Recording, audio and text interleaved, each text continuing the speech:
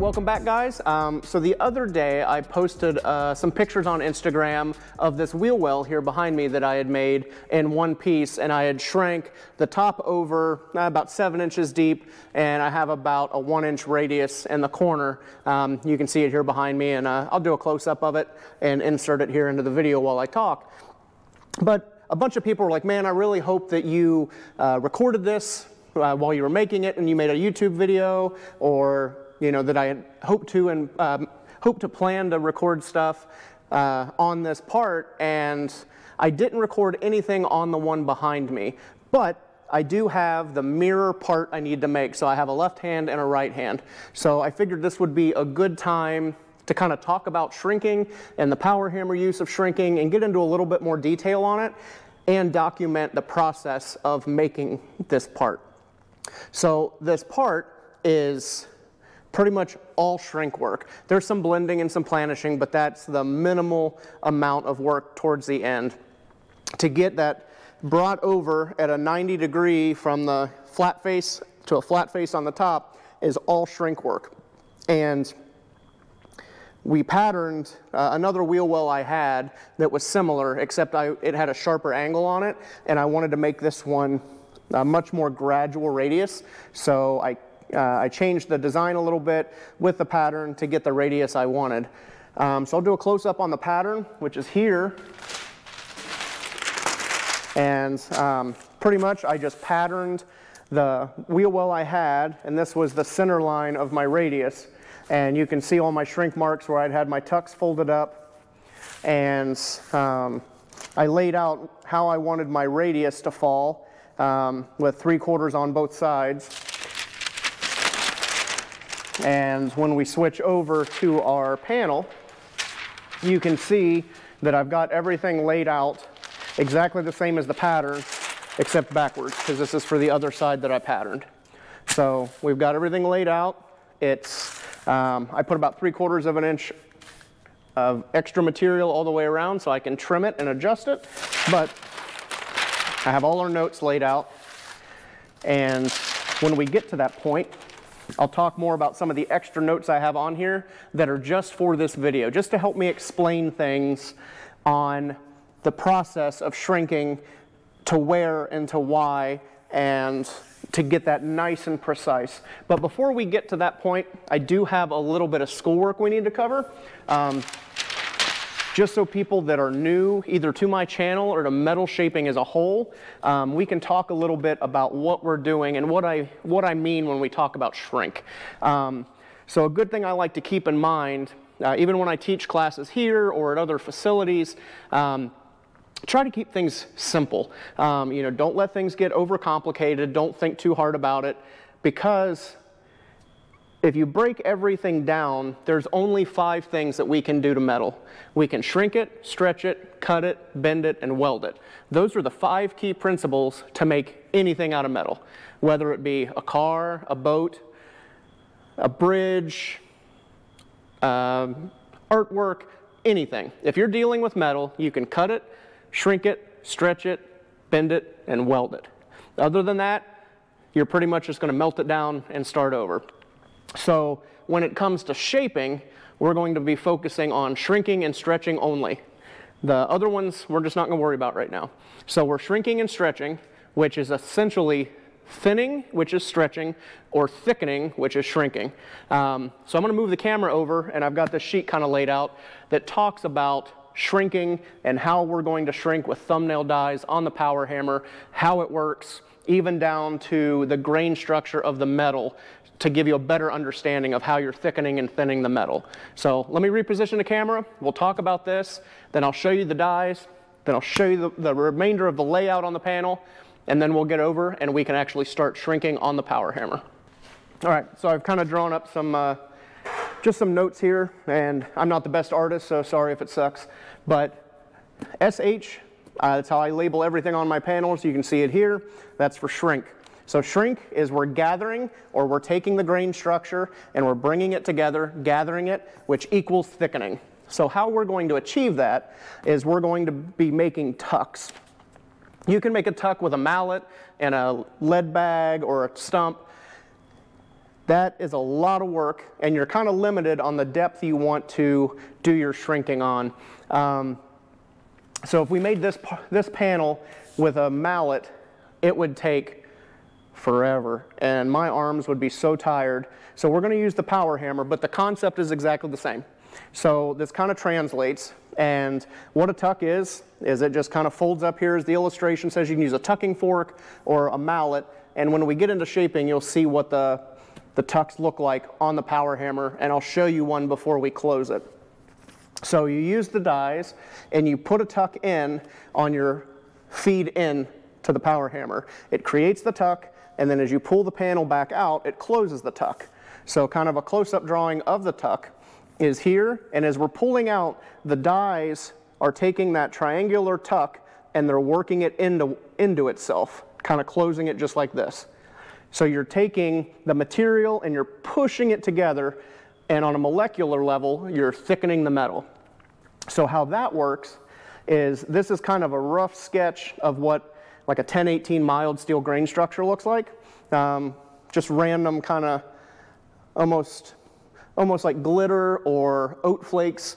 Um, so that's what a normal grain structure looks like. So when we're gathering that, they're slightly overlapped. We're taking those and we're sliding them together even more. So we're gathering the grains, stacking them, kind of pulling them in to tighten them up, and it will go from roughly looking like that to roughly looking like this. Again, sorry for my terrible illustrations, but I figured illustrations might be easier than just talking about it. So you're taking your metal, sliding the grains together, which is thickening. So it moves down to thickening.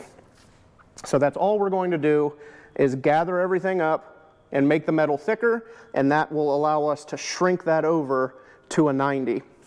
All right, so with our layout here, and this is the side profile. So this flat is this flat area where I've got labeled no shrink. So the first is this blue line that comes all the way to the start of the radius where it starts to come around the top.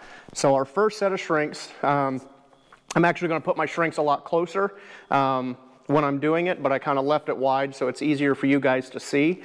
So I will come in on our first set of shrinks and I will shrink to the start of our radius line and I'll you know, do that all the way across the panel. And essentially what that'll do is that'll take that from a flat, flat sheet and that'll shrink that over um, to whatever degree that is. Um, I don't have it labeled here, but it'll pull that over and it'll be shrunk down.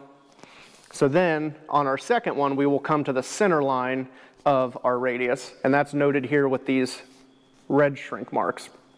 So we'll shrink to the center line of our radius, and again, that will pull that over at another angle. So you'll be flat, pulled down, pulled down again, and on our third set, we will come to the stop of our radius, which is uh, labeled here with this third blue line.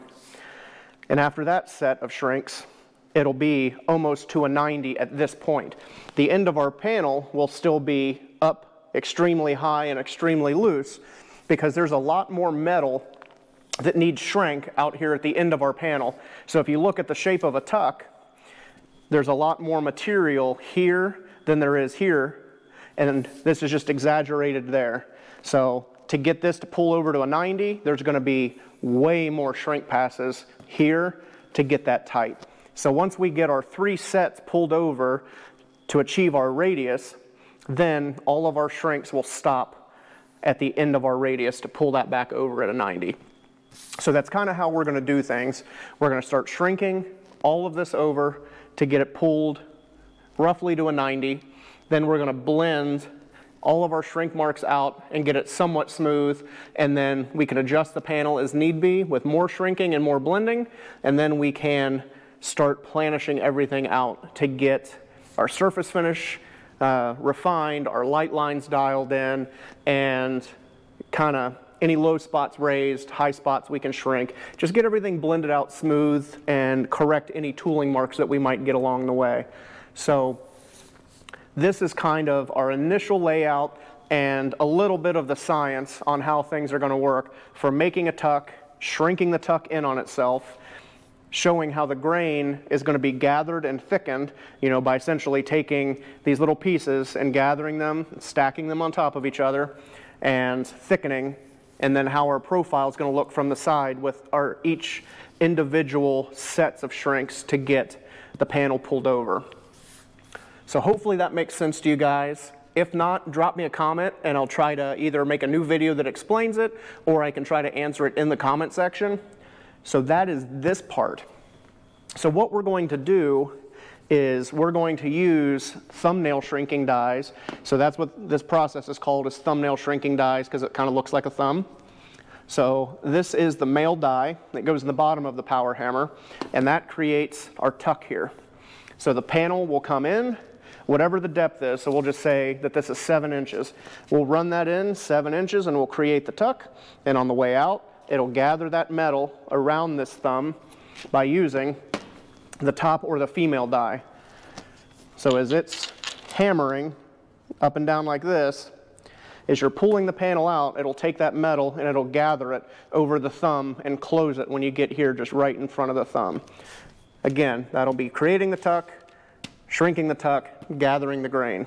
So with a mallet, you know, you can do as many strikes per minute as you're strong enough or stamina, uh, as your stamina can provide. So you might be looking at 30 to 60 strikes a minute. And they're not always going to be the same force, um, the same speed. So there's going to be a little bit of a variant. So when it comes to power hammers, you're working with um, a lot more accuracy and also efficiency. So the power hammer, it will strike depending on the speed you have it set at, anywhere from 10 beats per minute all the way up to 500. So, and it's always the same other than how you feather the pedal. You know, you're always running roughly the same RPM, the same striking force, everything. So you can really shape this panel quickly versus doing it by hand. So now we're gonna set up the power hammer with our shrinking dies and get that all set. And then we can get into the actual shaping process of doing all our shrinking to get this pulled over. So I just changed out the tooling here on the MH37 HD power hammer. So I'm gonna check kind of our clearances. So I'm gonna raise the lower tool post back up and bring the upper ram down to the bottom of our stroke. And we want about 3 16ths of an inch.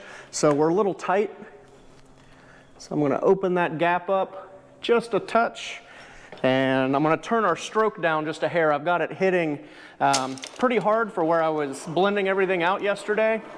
So I'm going to start off with our stroke or the force of our hit a little bit lower and as the metal comes around it'll start to work harden a little bit and then I can turn the hammer back up.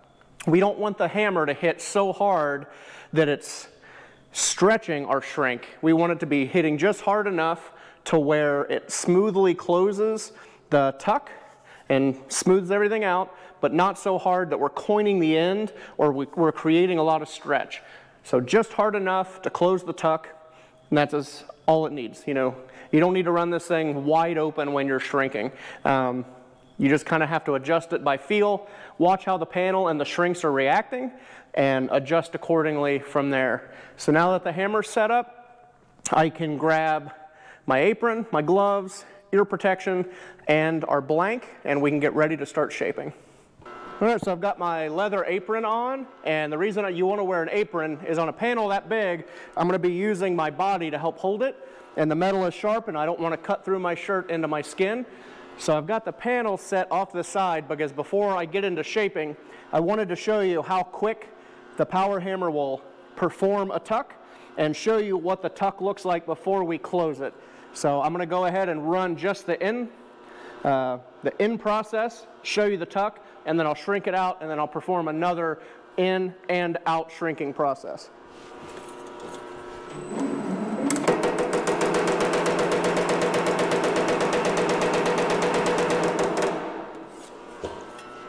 So here, you can see there's the tuck.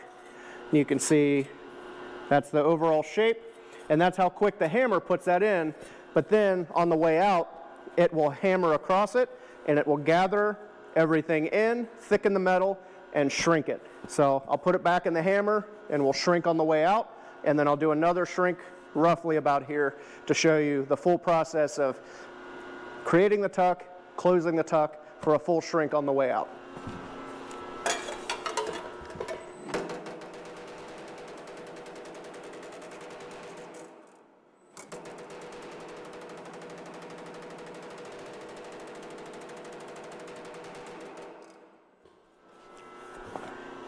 So here we have, this is the one I did and showed you the tuck. It's closed, that one's closed, and you can see that it's starting to pull that down into a compound shape. And just like I said before, there's going to be a lot more shrink needed here at the edge than there is here because there's going to be so much more material to pull around. So if you think of our wheel well, as I described it on the piece of paper from the side profile, this is our flat, that's this will be where our radius starts, and that'll be the first set, and then we'll do another set and a third set to tighten it over. So now I can switch over to the blank for the wheel well, and we can start the initial shaping process. So we're ready to roll. I've applied a little bit of panel lube just where I'm going to be shrinking, just to help it uh, glide through the dies a little bit better and not really uh, feel kind of gummy. So let's get to shrinking.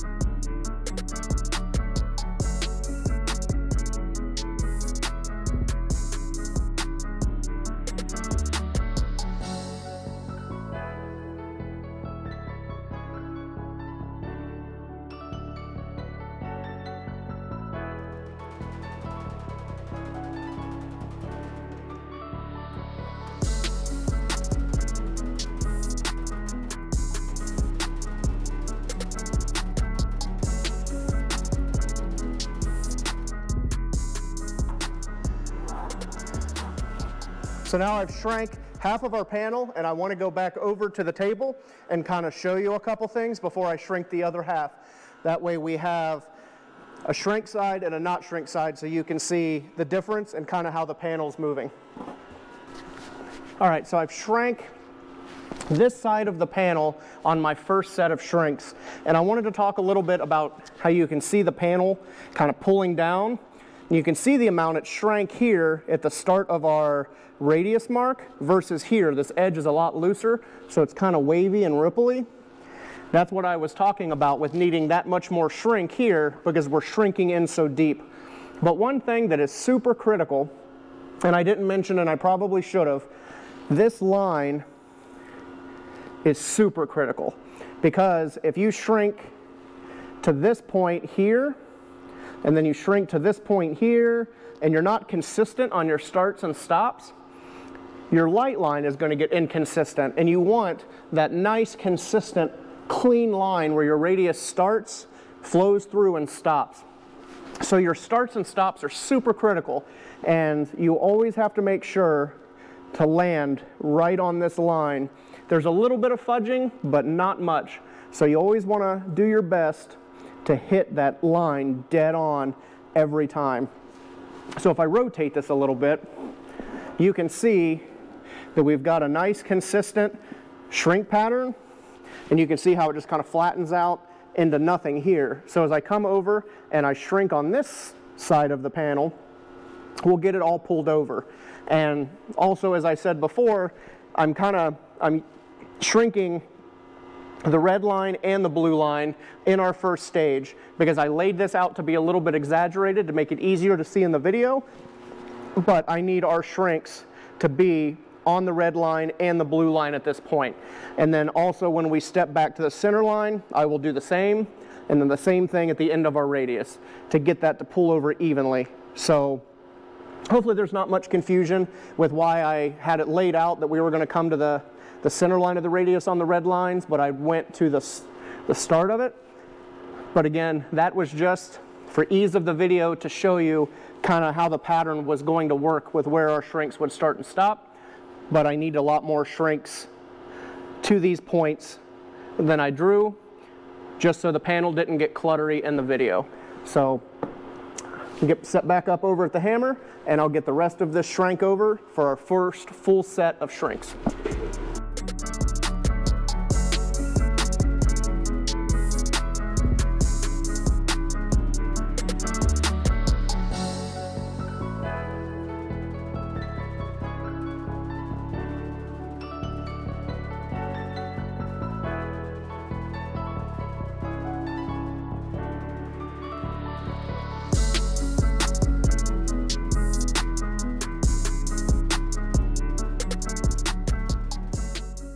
So there's our first set of shrinks all the way up to the start of our radius line.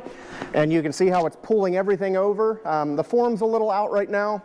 A lot of that's being caused by this edge having so much material that still needs shrank over. Um, but as we tighten that up, the form will kind of relax a little bit. So this is the first set all the way across. So next up, I'll come back and we will shrink to the center line of our radius all the way around. And then I'll come back and we'll do to the stop of our radius and then it'll just be fine tuning this edge and getting everything tightened back up to where it's happy and it's kind of neutral and we can start blending out. So I'm going to break this up into a couple episodes just so it's not so monotonous and overbearing. So thanks for watching this video. Um, let me know what you think in the comment section. Um, if you have any questions about what I'm doing, how I laid it out, how the material is moving, I can do my best to answer that or come up with a secondary video to explain it more in depth. Um, so again, thanks for watching. Stay tuned for episode two where I continue the shrinking and blending process and we're gonna make the mirror of this wheel well and we'll see you on the next one.